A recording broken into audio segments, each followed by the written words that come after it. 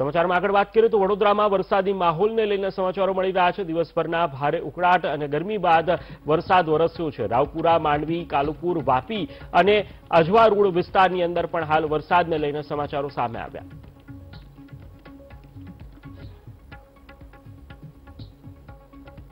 ચાર દિવસના વિરામ બાદ ફરી વડોદરામાં વરસાદ શરૂ થયો છે. વડોદરા શહેરમાં આપ જોઈ રહ્યા છો કે મોટા ભાગના વિસ્તારોની અંદર અત્યારે વરસાદ પડી રહ્યો છે. હવામાન વિભાગની જે પ્રમાણે આગાહી છે કે આગામી બે દિવસમાં ગુજરાતમાં ભારેથી અતિ ભારે વરસાદ પડી શકે છે અને એ પ્રમાણે વડોદરામાં સાંજના સમયે વરસાદ શરૂ થયો છે.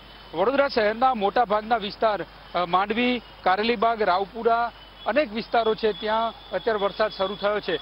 કાળા ડિબાંગ વાદળો છે, આકાશમાં ઘેરાયા છે અને વરસાદ વરસી રહ્યો છે.